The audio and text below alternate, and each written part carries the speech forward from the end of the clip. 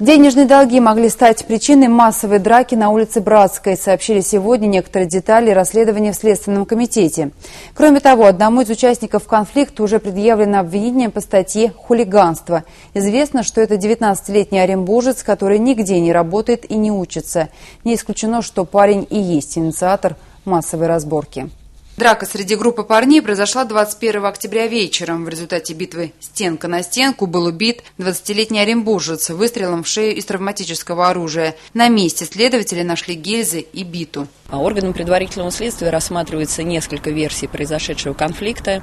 Одни из основных версий – это а, конфликт между молодыми людьми из-за невозврата долга, а также личные неприязненные отношения между участниками конфликта и, возможно, а, предыдущие конфликты.